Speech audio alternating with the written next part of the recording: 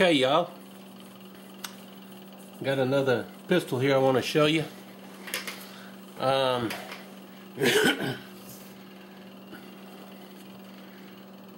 I've been taking a good ribbon from uh,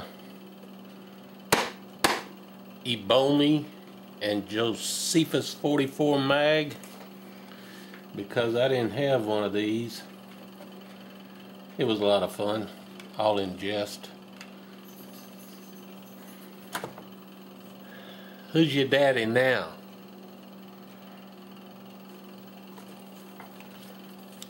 This is stainless Pro Raptor 2. Show you real quick what it comes with. A little thing of oil. Uh, Meprolite. Tritium sight advertisements. Operations manual. NRA, cleaning procedure, warranty card, bicycle lock, uh, breech plug, and a little takedown piece of wire there. This is a real pretty uh, weapon. You know, I told you I'd try to get one and they had sold it. And uh, I recently went and they had two of them. Let's uh, safety check it, get that out of the way.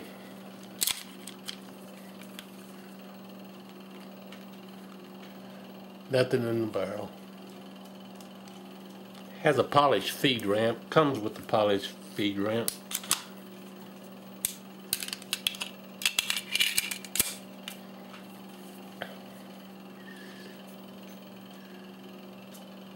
This is just a real nice,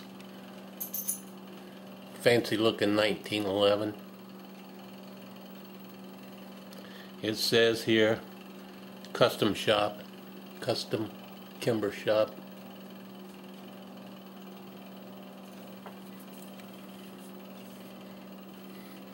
Over here it says stainless Pro Raptor 2.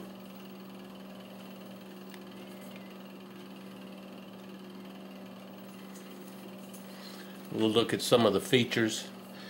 Uh, the most obvious feature, to me anyway, are the grips.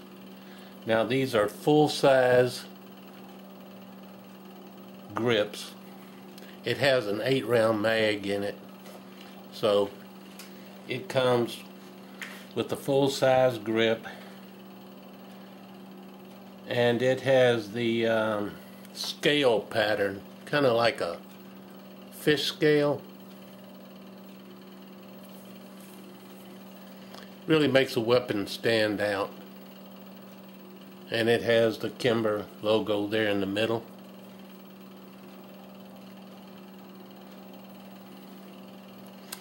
It also has the front strap. Um, it's like a stippling, but they call it a scale pattern.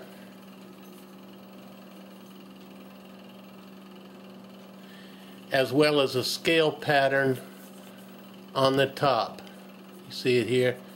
And it holds down on the glare.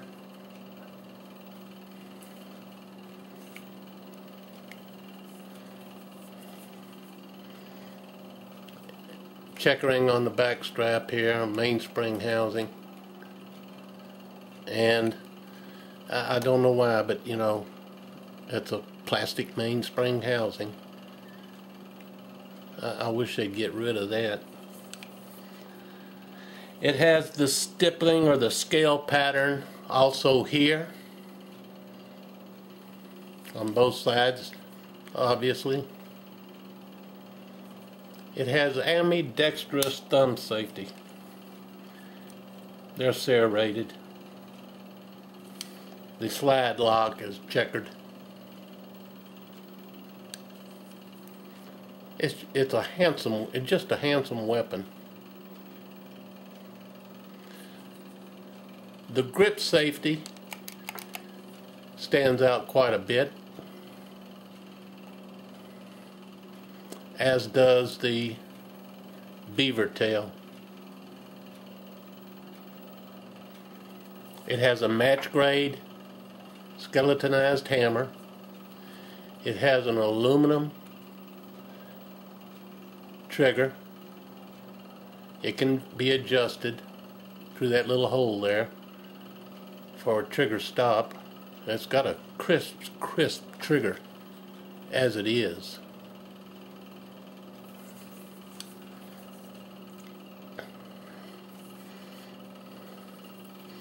It is an all stainless construction, both the slide and the frame. It has a 22 pound recoil spring in it, extended guide rod. That's where this little piece of wire comes in. For those of you not familiar with it, there is a hole in the guide rod that you insert this little piece of wire and that captures the uh, the mainspring uh, the recoil spring rather the recoil spring when you go to disassemble it. Okay? It has a match grade stainless barrel. It's a bull barrel. It is bushingless. There is no bushing on it. The bushing is on the guide rod. It comes in from behind, right there.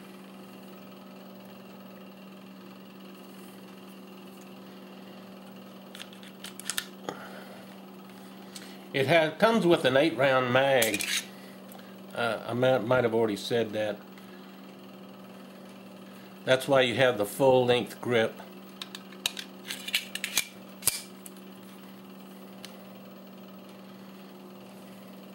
Very pronounced mag release.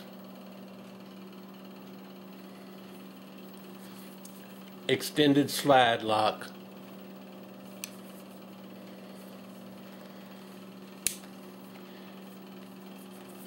It has a tactical wedge Meprolite tritium night sights, which I really like. You know, you don't have to shake them up. You don't have to heat them up. Uh, they they glow continuously all the time. And at night, those of you that have it can vouch. Uh, you can see it across a room. The night sight's real nice, three dot. And during the day, because of the dot, you get a nice sight picture.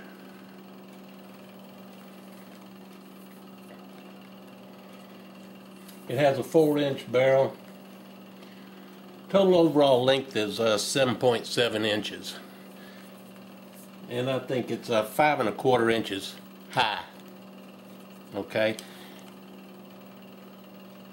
Make a nice carry gun. Although this satin finish that is on here um, it tends to show uh, holster wear quite readily. Of course, they all do.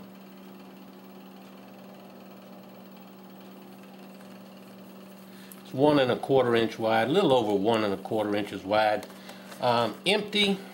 I, I, I, picked this little scale up at uh, Harbor Freight. It comes in handy around the house for, you know, large envelopes. Uh, when you're cooking, if you have to measure something but it for the curious, it's always nice to be able to weigh, weigh it. It's 35.3 ounces empty. Okay. The trigger, I mean, it breaks. There is there's no travel in that trigger whatsoever, hardly. And it breaks. Uh, they advertise it between four and five pounds.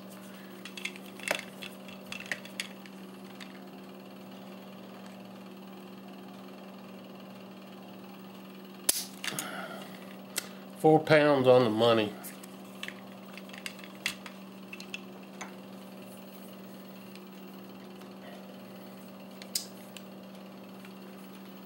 Just a pretty weapon. See the scale pattern on the top. And and this here is a scale pattern, but it's all, all almost like stippling, you know, it, the little gouges in there. Nice weapon. Uh, I will say, uh, this grip here, they had two of these, and one of the grips was real, real, real light. Didn't have the dark wood in there. This is zebra wood. It didn't have it in there. I like the darker one better. But uh, if you're ever in a shop and you're looking at pistols, um, ask ask them if they have some other ones, so you can compare the grips. You know, 1911 owners, they love messing with the grips. Um, I paid damn near MSRP for this. Uh, there's 1911s are scarce as hen's teeth around here. We really don't have that many places where we can buy a weapon. But I wanted y'all to uh, see it. And I wanted Ebomi and Josephus 44 Mag to see it. Uh, Mr. Bill, uh, yours is in the wing just as soon as I get this uploaded and a couple more that I had planned, I'll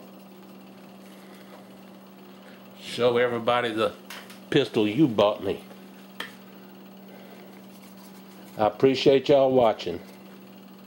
Bye.